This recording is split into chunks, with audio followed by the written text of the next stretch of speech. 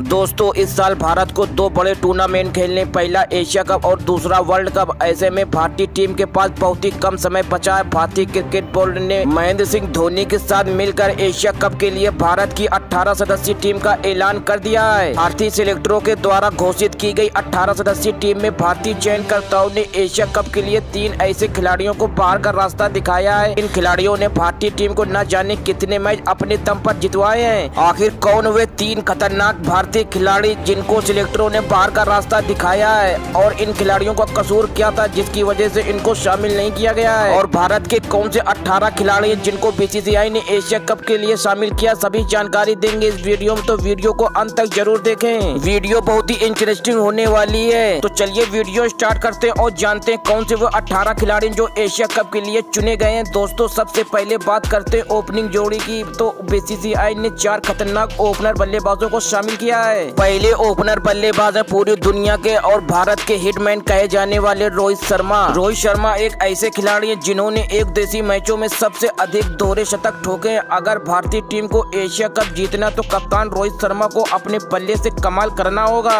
Cricket जगत में अब तक तीन दोहरे शतक लगा चुके हैं, जो एक विश्व रिकॉर्ड रोहित शर्मा के ऊपर पावर प्ले के शुरुआती ओवरों में तेज तर्रार शुरुआत करनी होगी। वैसे दोस्तों, रोहित शर्मा के साथ आमतौर पर आपको शिखर धवन या फिर के राहुल ओपनिंग करते हुए दिखेंगे, लेकिन इन दोनों बल्लेबाजों का खराब प्रदर्शन को देखते हुए इस बार आपको एशिया कप में रोहित शर्मा के साथ शुभमन गिल ओपनिंग करते हुए नज़र आएँगे।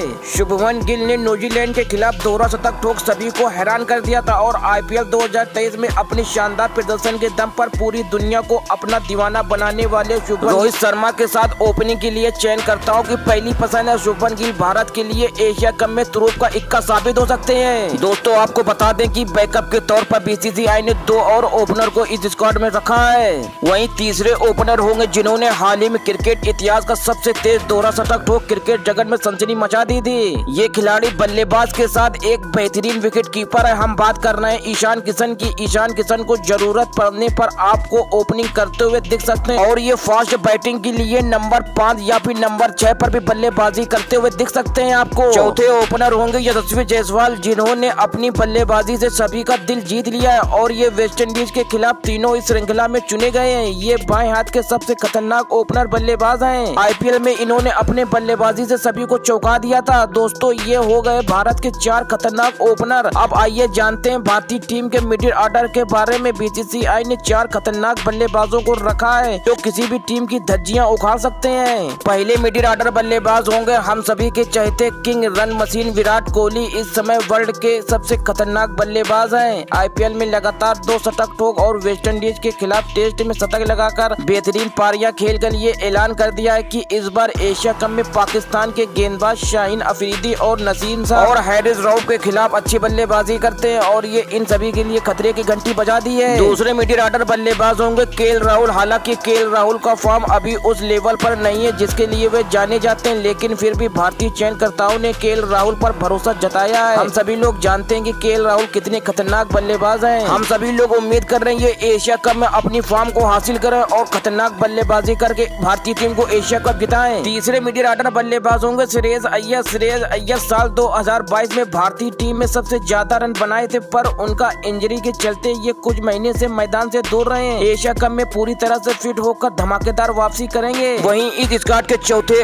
मिडिल ऑर्डर बल्लेबाज होंगे संजू सैमसंग। संजू सैमसंग ने आईपीएल में गजब का प्रदर्शन किया था, जिसके दम पर ये जगह बनाने में कामयाब हुए हैं। उनके पास मौका होगा। इस एशिया कप में अपनी बल्लेबाजी से खुद को साबित करने का।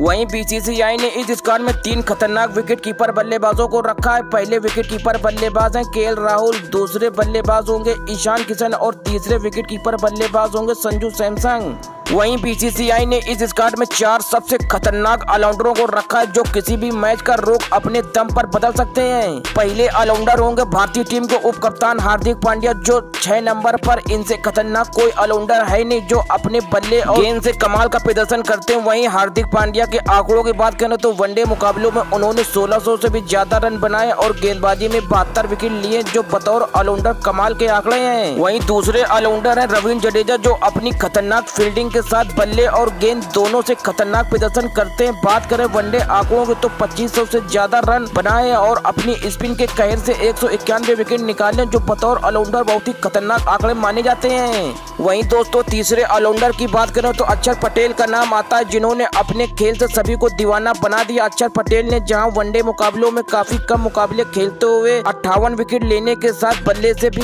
कमाल का प्रदर्शन किया है। वहीं इस स्काट के चौथे ऑलराउंडर होंगे शार्दुल ठाकुर, जो पिछले एक साल से भारतीय टीम के तीनों फॉर्मेट में लगातार खेलते आ रहे हैं, जहाँ शार्दुल ठाकुर ने बल्ले और गेंद दोनों से योगदान दिया है। वहीं अब बात करते स्पिन गेंदबाजी की तो बीसीसीआई ने दो खतरनाक स्पिनरों को चुना है। पहले स्पिनर गेंदबाज होंगे यजवंदर चहल, जो अपनी खतरनाक गुगली के लिए जाने जाते हैं। चहल अब तक वनडे में बहत्तर मैचों में एक सौ इक्कीस विकेट ले चुके हैं। चहल मिडिल ओवरों के घातक गेंदबाज माने जाते हैं। वहीं दूसरे स्पिन गेंदबाज होंगे। युवा रवि विश्नोई खेलेंगे। इन्होंने आईपीएल में खतरनाक गेंदबाजी करके सभी को चौंका दिया था और ये स्पिन के जादू से बल्लेबाजों को रन बनाने नहीं देते हैं। वहीं अब बात करते हैं, इस स्कार्ड में बीसीसीआई ने चार फास्ट बॉलरों को चुना है जो किसी भी टीम की धज्जियाँ उखाड़ फेंकते हैं। वहीं इस स्कार्ड के पहले तेज गेंदबाज होंगे जसप्रीत बुमराह। जसप्रीत बुमराह की चोट के बाद वापसी हो रही है। काफ़ी लंबे समय से भारतीय टीम से दूर रहे हैं। बुमराह पूरी तरह से फिट होकर भारतीय टीम से जुड़कर एशिया कप में खेलते दिखेंगे। जसप्रीत बुमराह भारतीय टीम में शामिल होने से भारतीय तेज गेंदबाजी काफ़ी मज़बूत नज़र आती है जहाँ बुमराह ने वनडे मैचों में बहत्तर मुकाबले खेलते हुए 121 विकेट लिए हैं। इस स्क्वाड के दूसरे तेज गेंदबाज स्विंग के किंग मोहम्मद शामी खेलेंगे जो अपनी खतरनाक स्विंग के लिए जाने जाते हैं। मोहम्मद शामी पावर प्ले के साथ साथ डेट ओवरों में काफ़ी खतरनाक गेंदबाजी करते हैं। शमी ने वनडे के नब्बे मैचों में एक सौ बासठ विकेट निकाले हैं जो बतौर फास्ट गेंदबाज खतरनाक आंकड़े हैं। वहीं इस स्क्वाड के तीसरे फास्ट बॉलर होंगे मोहम्मद सिराज, जिन्होंने पिछले दो साल बहुत ही ज़बरदस्त प्रदर्शन किया जहाँ सिराज ने केवल 24 वनडे मैचों में तैतालीस विकेट निकाले हैं, जो बतौर फास्ट बॉलर अच्छे आंकड़े माने जाते हैं। वहीं इस स्काट के चौथे और आखिरी बॉलर होंगे अर्शदीप सिंह, खेलेंगे ये डेट ओवरों में खतरनाक गेंदबाजी के लिए जाने जाते हैं, जिनके खिलाफ किसी भी बल्लेबाज को खेलना आसान नहीं होता है। तो दोस्तों, ये थी भारत की अठारह सदस्यीय टीम, जो एशिया कप के लिए चुनी गई है। तो आइए जानते हैं, वो कौन से बदकिस्मत खिलाड़ी है, जिनको चयनकर्ताओं ने एशिया कप में नहीं चुना है। इस लिस्ट के पहले खिलाड़ी हैं गब्बर सिंह, कहे जाने वाले शिखर धवन, जिन्होंने आईपीएल में गजब का प्रदर्शन किया था और ये आईसीसी के बड़े टूर्नामेंट में बहुत ही खतरनाक बल्लेबाजी करते हैं। इनको चयनकर्ताओं ने एशिया कप में नहीं चुना है। वही दूसरे खिलाड़ी कुलदीप यादव, हालाँकि इस साल आईपीएल उनका बेहतर नहीं रहा, जिसके लिए वे जाने जाते हैं, लेकिन पूरी दुनिया जानती है कुलदीप यादव किस लेवल के खिलाड़ी हैं। कुलदीप ने कई अहम मौके में विकेट दिलाकर टीम इंडिया को जीत दिलाने में अहम भूमिका निभाई थी। वहीं इस लिस्ट के तीसरे खिलाड़ी हैं सूर्य कुमार यादव, जो दुनिया के number one T twenty cricketer हैं। नंबर वन बल्लेबाज होने के बावजूद इनको इस एशिया कप में नहीं चुना गया है। जिन्होंने आईपीएल में कमाल का प्रदर्शन किया था। आईपीएल में 600 से भी अधिक रन बनाकर मुंबई इंडियन को प्ले में पहुँचने में अपनी अहम भूमिका निभाई थी। वैसे दोस्तों, आपको क्या लगता है, ये तीनों खिलाड़ियों को एशिया कप में चुनना चाहिए या नहीं, हमें कमेंट बॉक्स में ज़रूर बताए। दोस्तों, आपको क्या लगता है, कप्तान रोहित शर्मा वाली भारतीय टीम एशिया कप जीत पाएगी या नहीं? अपनी कीमती राय हमें कमेंट बॉक्स में ज़रूर दें। वीडियो पसंद आई हो तो प्लीज़ वीडियो को एक लाइक कर दें और क्रिकेट की ऐसी ही जानकारी के लिए हमारे चैनल को सब्सक्राइब करके अपना सपोर्ट ज़रूर दिखाएँ। अपना कीमती समय देने के लिए धन्यवाद। मिलते हैं एक और नेक्स्ट वीडियो में। जब तक के लिए जय हिंद, वंदे मातरम।